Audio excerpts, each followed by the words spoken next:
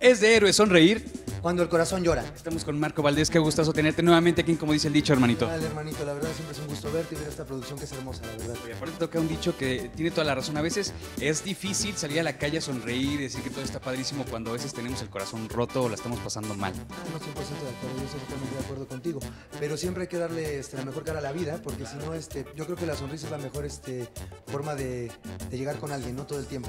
Dicen que la sonrisa es la mejor terapia de la vida. 100%. Y aparte llegar con alguien, si todo el tiempo, pues a todo mundo nos pasan cosas malas o cosas este, feas, pero si tú llegas y tomas la actitud y todo tu día lo tomas con una sonrisa y estando feliz, pues yo creo que te va a ir muy bien en todo el día y a lo mejor puede suceder algo muchísimo más padre, que si hubiera estado de malas, no va a funcionar o no va a pasar. ¿Por qué? Porque estás de malas y todo el tiempo esas vibras hacen que se aleje la gente un poco. Hermanito, cuéntame de qué va tu personaje en esta historia.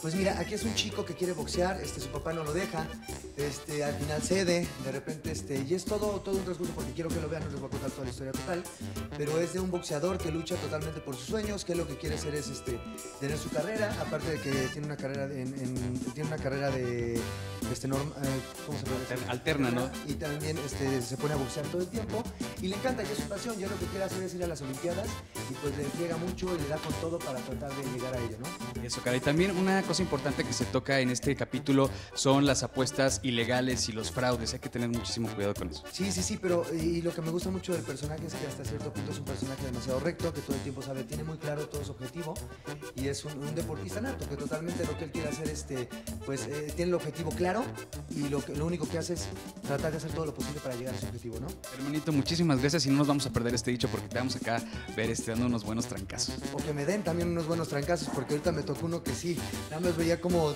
volaban golpes y yo decía, ay Dios, Cañón, ¿no? no, son poderosos, la verdad.